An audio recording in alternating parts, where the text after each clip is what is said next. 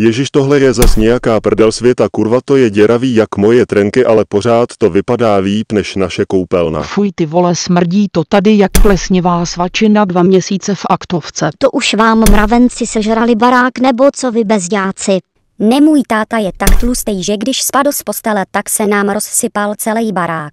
Pičo tady je tak vlhko, že bych cípl i deštnej prales. A kde máte hajzlo? My chčijem kde chceme, já jsem se před chvílí vychcala u postele na koberec a srád chodím bratrovi do aktovky.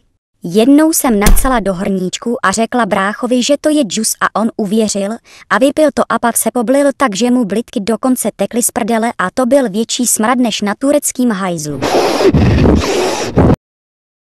Který debil se vychcal a vyseral po celý kuchyni.